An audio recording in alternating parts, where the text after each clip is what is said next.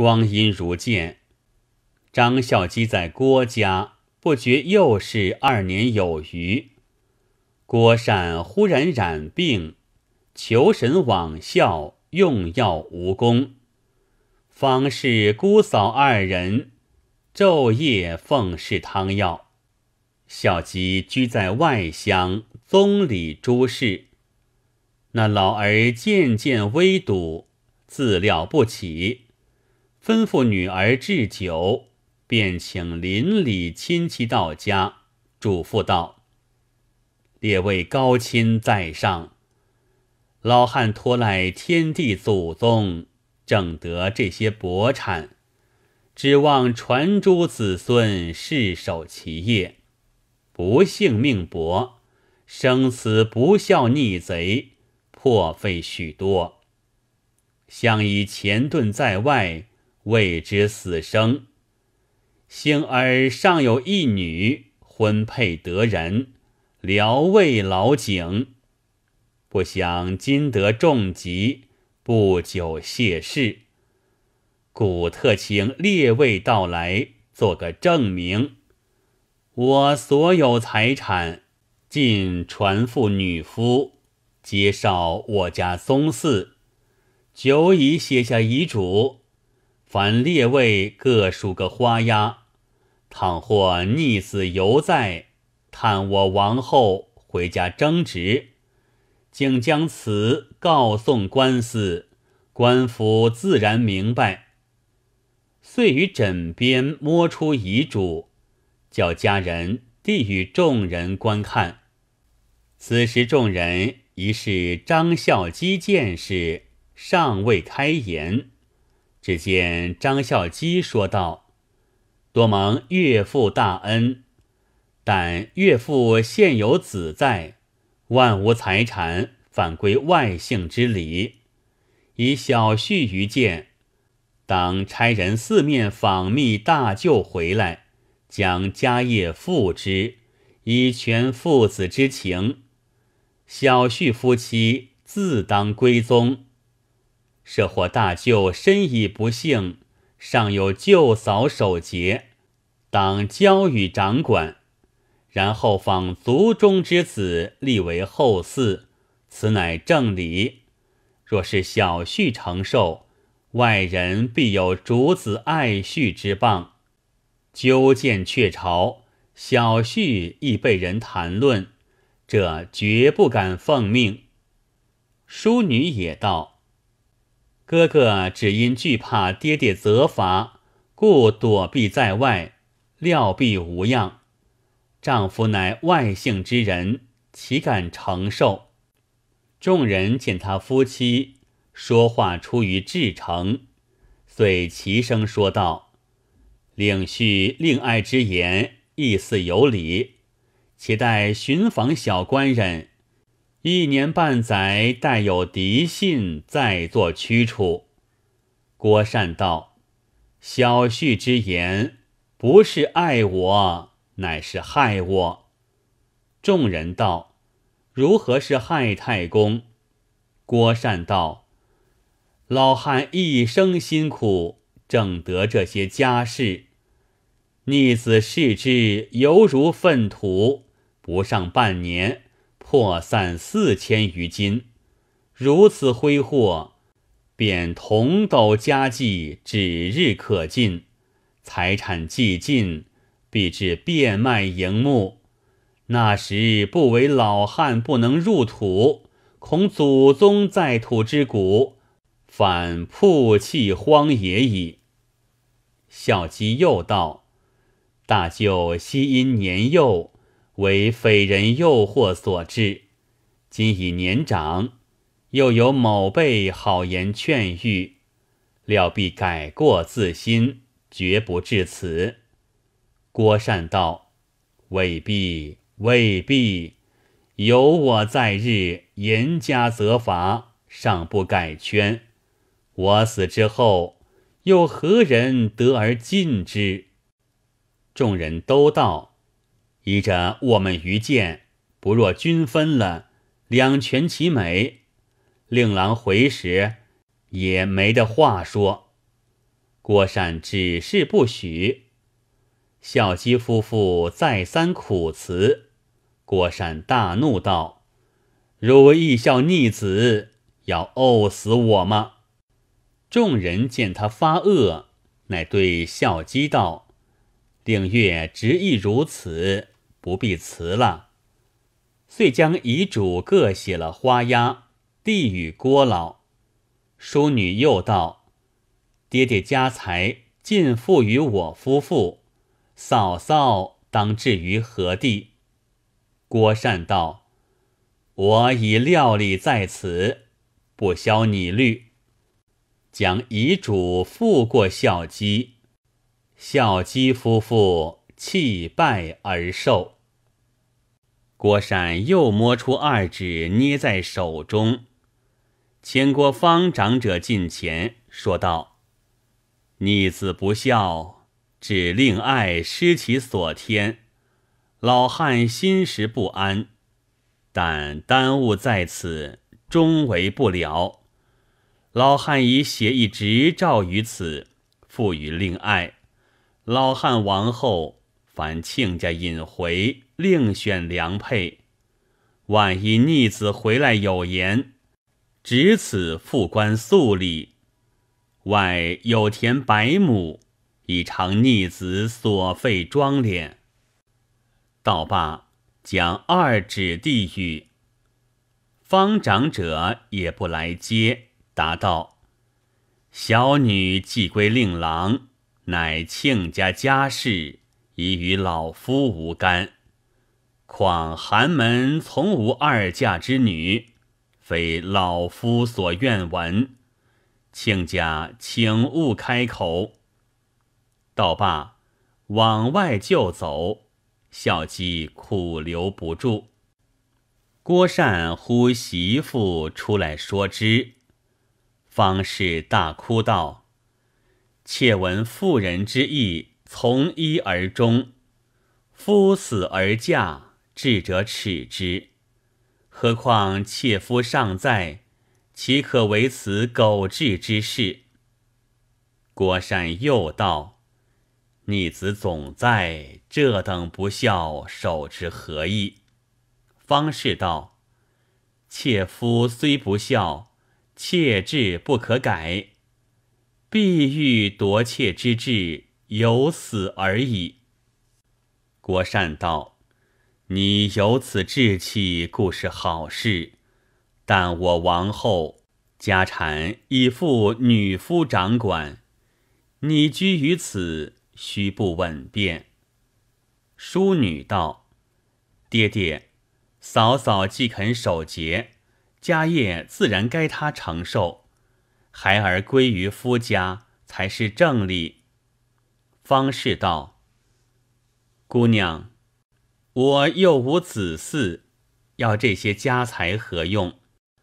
公公既有田百亩于我，当归母家。”以善此生，及丈夫回家亦可度日。众人齐声称好。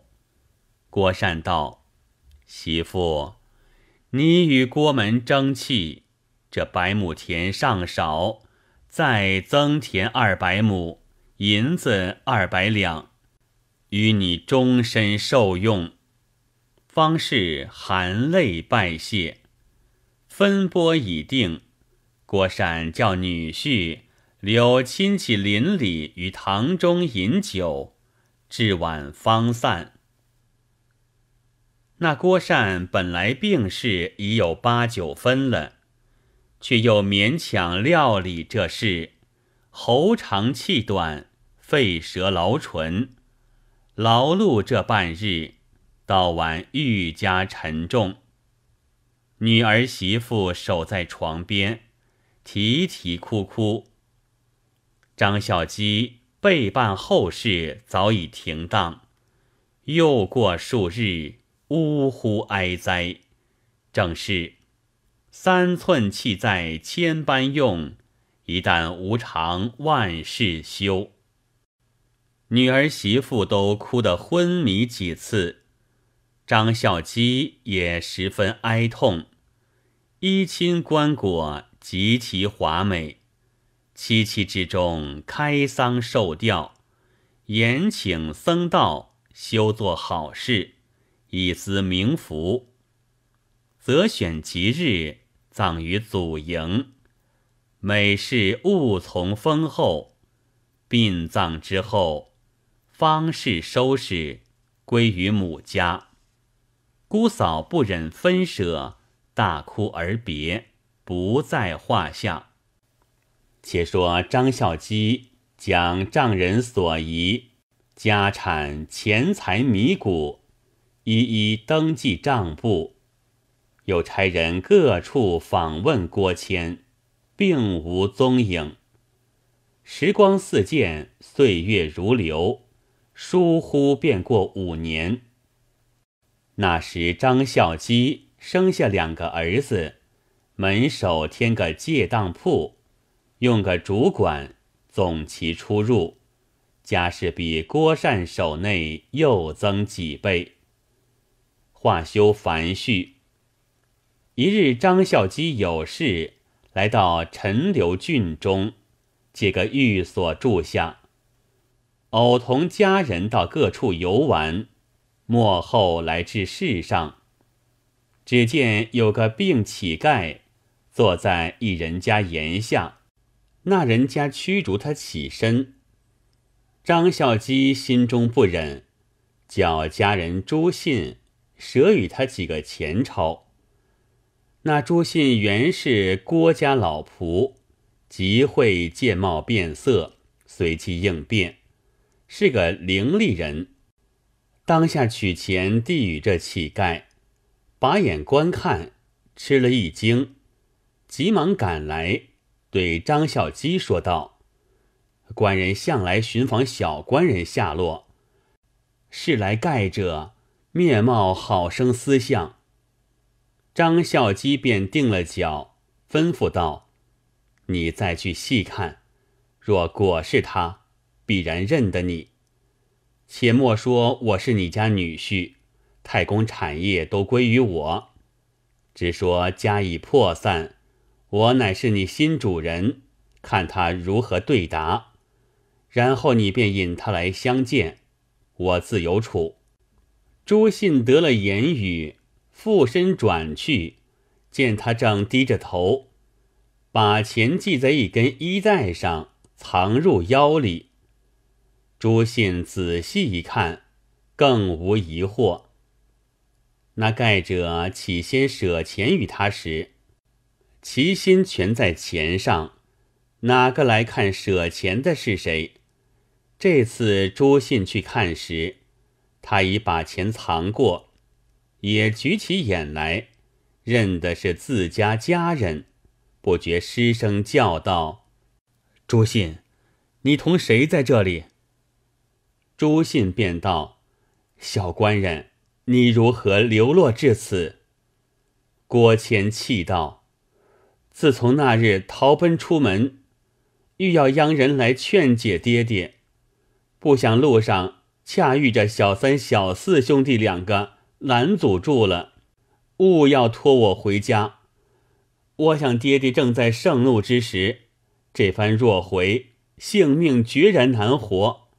匆忙之际，一拳打去，不意小四跌倒便死，心中害怕，连夜逃命，奔了几日方到这里，在客店中歇了几时，把身边银两吃尽。被他赶将出来，无可奈何，只得求乞度命，日夜思家，没处讨个信息。天幸今日遇你，可实对我说，那日小四死了，爹爹有何话说？朱信道：小四当时醒了转来，不曾的死，太公已去世五年矣。郭谦见说父亲已死，叫声苦也，望下便倒。朱信上前扶起，喉中哽咽，哭不出声，呜呜了好一回，方才放声大哭道：“我指望回家，央人求告收留，一缘父子相聚，谁想已不在了，悲声惨切。朱信亦不觉堕泪，哭了一回，乃问道：“爹爹既故，这些家私是谁掌管？”朱信道：“太公未亡之前，小官人所借这些债主其来取所，太公不肯承认，被告官司，衙门中用了无数银子。”及至审问，一一断还，田产已去大半。小娘子出嫁，妆脸又去了好些。太公临终时，恨小官人不学好，尽数分散亲戚，存下些少。太公死后，家无正主，同仆等辈一顿乱抢，分毫不留。只存住宅，卖与我新主人张大官人，把来丧中殡葬之用。如今寸土俱无了。郭谦见说，又哭起来道：“我知道家业还在，如今挣扎性命回去，学好为人，不料破费至此。”又问道。家产便无了，我浑家却在何处？妹子嫁于哪家？朱信道：“小娘子就嫁在近处人家，大嫂倒不好说。”郭谦道：“却是为何？”朱信道：“太公因久不见小官人消息，知道已故，送归母家。”令他改嫁。郭谦道：“可晓得嫁也不曾。”朱信道：“老奴为投了新主人，不时差往远处，在家日少，不曾细问，想是已嫁去了。”郭谦抚膺大痛道：“只为我一身不孝，家破人亡，才为他人所有。”岂为他人所得，成天地间一大罪人也。要这狗命何用？不如死休。望着阶岩石上，便要撞死。朱信一把扯住道：“小官人，蝼蚁尚且贪生，如何这等短见？”郭谦道：“昔年还想有归乡的日子。”故人耻偷生，今已无家可归，不如早些死了，省得再次出丑。朱信道：“好死不如恶活，不可如此。老奴新主人做人甚好，待我引去相见，求他带回乡里。倘有用得着你之处，就在他家安身立命，到老来还有个结果。”若死在这里，有谁收取你的尸骸，却不枉了这一死？郭谦沉吟了一会儿，道：“你话倒说的是，但修人子怎好去相见？万一不留，反干折这番面皮。”朱信道：“至此地位，还顾得什么羞耻？”郭谦道。既如此，不要说出我真姓名来，只说是你的亲戚吧。朱信道：“适才我先讲过了，怎好改的？”当下郭谦无奈，只得把身上破衣裳整一整，随朱信而来。